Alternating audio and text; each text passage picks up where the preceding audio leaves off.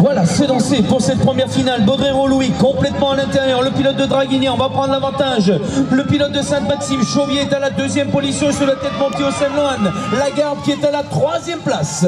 Allez, en effet, toujours Baudrero lui qui est ici, presque chez lui dans cette catégorie. Il est très très fort. Chauvier toujours à la deuxième position. Et le podium se dessine comme ceci avec Baudrero, Chauvier, Ça revient un petit peu derrière car les places bien, sont toujours importantes pour les points avec la quatrième position, notamment pour le 38 avec Atenaci Romain de Pugéville.